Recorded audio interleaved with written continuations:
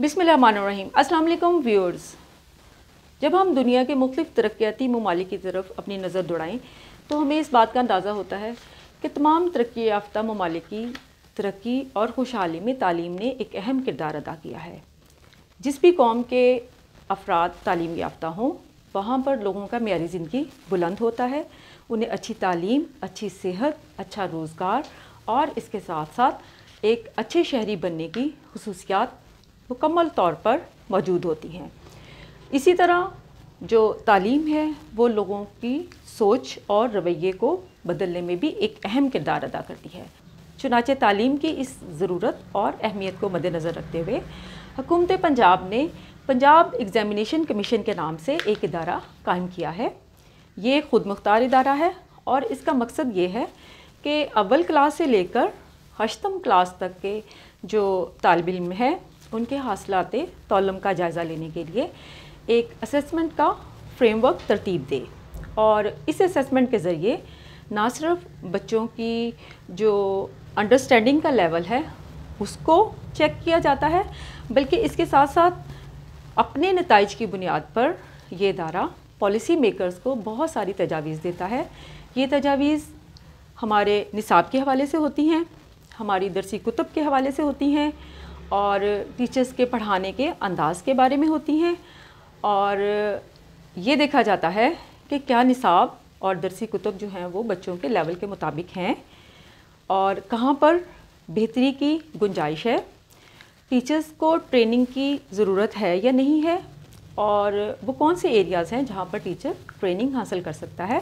इसके साथ साथ इम्तहान का निज़ाम बच्चों के लेवल के मुताबिक है या नहीं है? गोया ये अदारा पॉलिसी मेकर्स की बहुत ज़्यादा मदद करता है।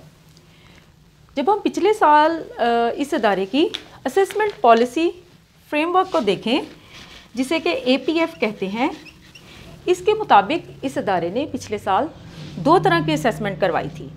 नंबर वन पे थी स्कूल बेस्ड असेसमेंट और नंबर टू पे थी large based assessment school based assessment में जैसा कि नाम से ज़ाहिर है कि स्कूल बेस्ड असेसमेंट तो इस असेसमेंट में बच्चा जिस भी स्कूल में पढ़ता है, वो का स्कूल पंजाब एग्ज़ामिनेशन कमीशन के फ्राहम करदा आइटम बैंक में से पेपर बनाता है।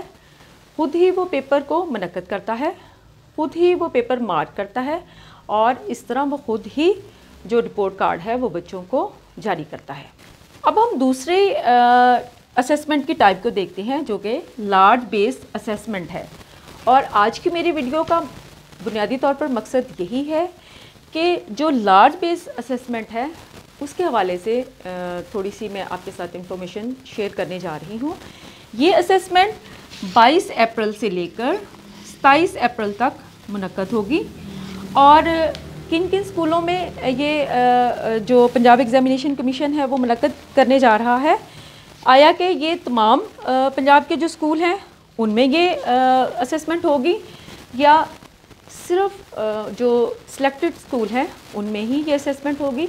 तो मैं आपको बताती चलूँ कि जो हमारा सूबा पंजाब है, उसके तमाम अज़ला में से चंद जो स्कूल हैं, उनको सेलेक्ट किया गया है और उन स्कूलों में भी तमाम बच्चों का असेसमेंट नहीं होगी, बल्कि उन स्कूलों में से भी चंद तलबा को मंतखब किया जाएगा और उन मंतखब तलबा की ही असेसमेंट होगी।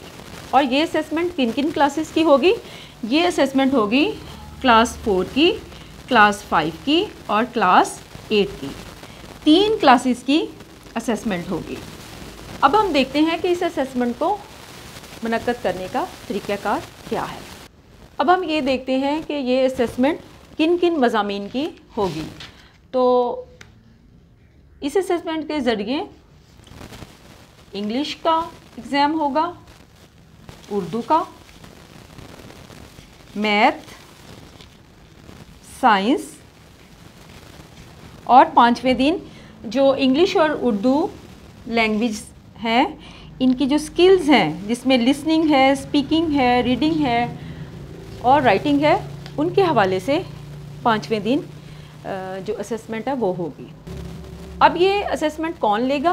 तो हुकूमत पंजाब ने एडमिनिस्ट्रेटर्स तैनात किए हैं, जो कि इन मुंतब करदा स्कूलों में जाकर इन जो पाँच सब्जेक्ट्स हैं, इनके हवाले से जो एग्ज़ाम है, वो लेगा। और पाँचवें जो सब्जेक्ट है, उसमें स्किल्स ही हैं जो कि इंग्लिश और उर्दू की होंगी। अब हम ये देखते हैं कि क्या एक क्लास के तमाम बच्चे जो हैं वो इस असेसमेंट को आ, करेंगे। तो ऐसा नहीं है। जो भी क्लास यानी कि अगर फोर्थ क्लास है या फाइव है या एट क्लास है हर स्कूल के लिए एक क्लास का सिलेक्शन होगा। मिसाल के तौर पर अगर आ, मेरा स्कूल है तो मेरे स्कूल में अगर सिर्फ़ फाइव की क्लास जो है वो सिलेक्ट होगी तो जो एडमिनिस्ट्रेटर गवर्नमेंट ऑफ़ पंजाब तैनात मेरे स्कूल में करेगी तो वो एडमिनिस्ट्रेटर सिर्फ़ पाँचवीं क्लास के जो बच्चे हैं, उनका वो टेस्ट लेगा, उनकी असेसमेंट करेगा, और पाँचवीं के भी कितने बच्चे? सिर्फ़ दस। सिर्फ़ दस बच्चों की ये असेसमेंट होगी, और एक अहम बात कि ये दस बच्चे पहले दिन जो बच्चा सेलेक्ट किया जाएगा, वही बच्चा आखिरी दिन तक असेसमेंट करेगा। और अगर फ़र्ज़ करें जो हमारा तीसरा दिन है, जो कि मैथ का होगा, उसमें अगर बच्चा प्रेजेंट नहीं है तो हम उसको एबसेंट शुमार करेंगे, उसकी जगह पे किसी और बच्चे को नहीं लेंगे। और एक और बात कि अगर किसी क्लास में तीस बच्चे हैं तो दस बच्चों को लेने का क्या तरीक़ाकार होगा? तो वो होगा रैंडम तरीका। रैंडम सैम्पलिंग के ज़रिए हम दस बच्चे उस क्लास में से सिलेक्ट करेंगे। और एक और अहम बात कि बच्चों को जो भी रोल नंबर हमने असाइन करना है, वो टीचर के क्लासरूम के रजिस्टर के रोल नंबर नहीं होंगे, बल्कि हम जिस भी स्कूल में जाएँगे वहाँ पर जाकर जो क्लास फाइव का टीचर है, उससे बच्चों की हाज़िरी का रजिस्टर लेंगे और उस हाज़िरी रजिस्टर में से हमने रैंडम सैम्पलिंग के ज़रिए 10 बच्चे सेलेक्ट करने हैं और हर बच्चे का रोल नंबर ज़ीरो वन से शुरू होगा। ज़ीरो वन ज़ीरो टू और इस तरह चलता चलता वो दस तक जाएगा। ये तो हो गई बच्चों की असेसमेंट के हवाले से थोड़ी सी अहम इंफॉर्मेशन अब हम ये देखते हैं कि क्या सिर्फ़ बच्चों की ही असेसमेंट होगी? तो यहाँ पर मैं आपको ये बताती चलूँ कि इस असेसमेंट में ना सिर्फ़ ये कि क्लास फाइव के बच्चों की असेसमेंट होगी, बल्कि क्लास फाइव के टीचर की भी असेसमेंट होगी। और जिस दिन इस असेसमेंट को करने का दिन होगा, उस दिन बच्चे जो हैं, दस बच्चों को जो एडमिनिस्ट्रेटर है, वो सीट्स पे बिठाएगा और उनको ये इस तरह से रोल नंबर असाइन करेगा तो टीचर को भी रोल नंबर असाइन किया जाएगा। और टीचर का रोल नंबर जो है, वो होगा ज़ीरो ज़ीरो और सबसे लास्ट सीट के ऊपर टीचर बैठकर अपनी असेसमेंट करेगा। यहाँ पर इस बात को समझना बहुत ज़्यादा ज़रूरी है कि इस असेसमेंट का मकसद ना तो बच्चों की परफॉर्मेंस को जो है क्रिटिसाइज़ करना है और जांचना है, ना हमने टीचर की परफॉर्मेंस को जज करना है, बल्कि हमने सिर्फ़ ओवरऑल जो हमारा सिस्टम है उसके हवाले से तजावीज़ देनी है और उसके हवाले से रिसर्च करनी है कि हमें कहाँ पर बेहतरी की गुंजाइश है और कहाँ पर हम बेहतरी कर सकते हैं।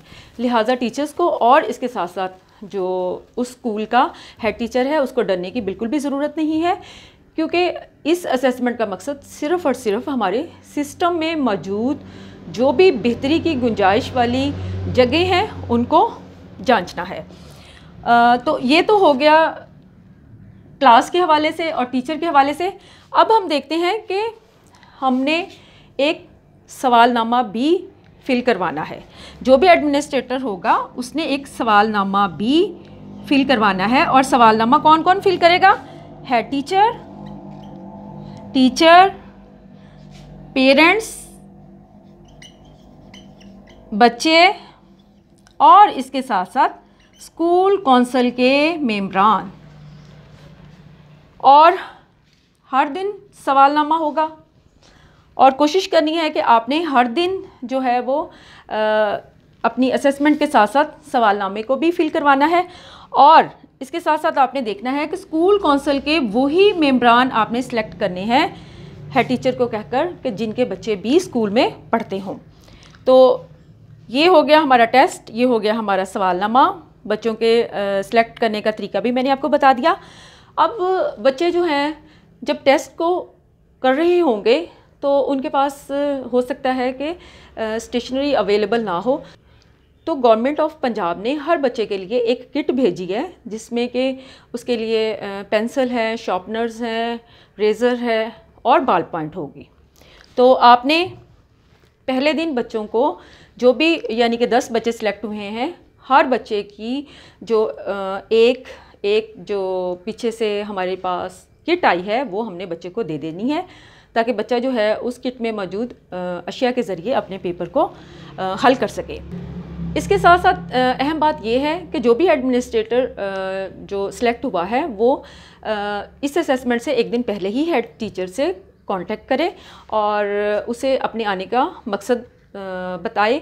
और ये असेसमेंट आठ बजे शुरू हो जाएगी और तीन घंटे ये असेसमेंट जारी रहेगी। आठ बजे शुरू होकर तीन घंटे मुसलसल जारी रहेगी। कोशिश करें कि आप आधा घंटा पहले जो मतलब आपका स्कूल है, वहाँ पर पहुँचे, ताकि जो भी इंतज़ाम हैं, वो आप अच्छे तरीके से कर सकें। इसके बाद ये आपको पेपर्स कहाँ से मिलेंगे? यानी जो भी एडमिनिस्ट्रेटर है, उसको ये पेपर्स कहाँ से मिलेंगे? तो हर ज़िले की सतह पर एक फ़ोकल पर्सन का इंतखब किया गया है। फ़ोकल पर्सन जो है, वो आपको यानी कि एडमिनिस्ट्रेटर को इन तमाम मजामी के जो पर्चे हैं, वो फ्राहम करेगा। अब हम देखते हैं कि ये पेपर कैसे हल करना है। तो सबसे पहले आपने बच्चे को एम को हल करने के लिए देना है। और एम में आपने बच्चे को ये बताना है कि हर सवाल के आगे चार जवाब दिए गए हैं और जो भी एमसीक्यू का दुरुस्त जवाब है, आपने उसकी बबल को इस तरह से फिल करना है। यानी कि मुकम्मल तौर पर उसकी बबल को फिल करना है। जब बच्चे एम कर लेंगे तो उसकी 15 मिनट बाद आपने बच्चे को दूसरा क्वेश्चन पेपर देना है उसी सब्जेक्ट का, जिसे सी आर क्यू कहते हैं। कंस्ट्रक्टेड रिस्पॉन्स क्वेश्चन या हम इंशाया कहेंगे? जिसमें आ, हर सवाल का लंबा जवाब होता है। लेकिन आ, हर सवाल के लिए एक ख़ास जगह और एक ख़ास बॉर्डर लगाया जाता है। और आपने बच्चे को बताना है कि उसने अपना जवाब उसी बॉर्डर के अंदर रहते हुए मुकम्मल करना है। इसके बाद जब आपके पाँचों सब्जेक्ट्स के पेपर मुकम्मल हो जाएँगे और इसके साथ साथ आपने जब सवालनामा हेड टीचर से टीचर से, बच्चों से पेरेंट्स से और स्कूल कौंसिल के मेम्बरान से फिल करवा लेंगे तो आपने उस तमाम मटेरियल को, यानी कि जो कि आपकी मार्क शीट्स और बबल फिल वाली शीट्स होंगी, उनको आपने सुरख थैले में डालना है और जो भी आपका मटेरियल गया है उसको आपने सफ़ेद थैले में डालकर फोकल पर्सन को जिससे आपने सामान लिया था उसको वापस रिटर्न करना है। अब आ, मैं आपके आ, सामने जो हमारा आखिरी पेपर है जो कि उर्दू और इंग्लिश की स्किल्स के ऊपर मुश्तमिल है उसको डिस्कस करूँगी। सबसे पहले तो सुनने की जो स्किल है उसको आपने जज करना है। और इस स्किल का जो पेपर है, वो जिस दिन अगर उर्दू का पेपर है तो उर्दू की स्किल को उर्दू वाले दिन ही आपने जज करना है। अगर इंग्लिश का पेपर है तो इंग्लिश वाले पेपर वाले दिन ही आपने इस स्किल को जज करना है। उसके लिए आपने बच्चे को एक पैराग्राफ पढ़कर सुनाना है। और आपने नहीं सुनाना, यानी एडमिनिस्ट्रेटर ने नहीं सुनाना, बल्कि जो भी उस क्लास का मतलब टीचर और मतलब का सब्जेक्ट का टीचर है, वो बच्चे को पैराग्राफ पढ़कर सुनाएगा। और बच्चे जो हैं, वो सुनने के बाद उस पैराग्राफ के नीचे जो पाँच क्वेश्चंस हैं, उनको पढ़ेंगे। उसके बाद टीचर फिर दोबारा उस पैराग्राफ को पढ़ेगा। फिर बच्चे जो हैं, उन सवाल को पढ़कर उनके जवाब देंगे। इस तरह आपने सुनने की स्किल को जज करना है।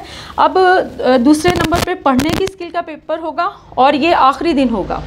यानी कि जो पाँचवा दिन है, उस दिन ये तीनों स्किल्स के पेपर होंगे, उर्दू के भी और इंग्लिश के भी। इसमें पढ़ने के लिए आपने बच्चे को एक पैराग्राफ देना है और आपने एक मिनट का बच्चे को टाइम देना है और एक मिनट में आपने ये जज करना है कि बच्चे ने एक मिनट में कितने अल्फाज जो हैं वो पढ़े हैं। इसके बाद बोलने का टेस्ट होगा। बोलने के लिए आपको दस बच्चे हैं तो दस टॉपिक्स दिए गए हैं और हर बच्चा जो है एक टॉपिक जो है, उसके ऊपर बोलेगा।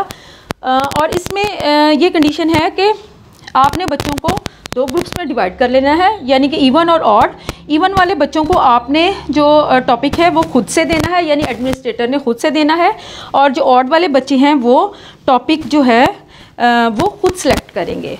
इस तरह बच्चे उस टॉपिक के हवाले से बात करेंगे, यानी बोलेंगे, और आपने देखना है कि बच्चों की बोलने की सलाहियत कितनी है।